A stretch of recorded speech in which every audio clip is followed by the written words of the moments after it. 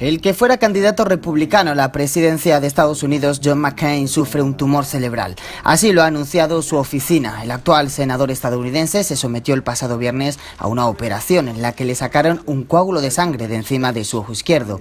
Fue entonces cuando le extrajeron el agresivo tumor. No es la primera vez que McCain se enfrenta al cáncer. En el año 2000 se le extirpó un melanoma, intervención que se repitió dos años después.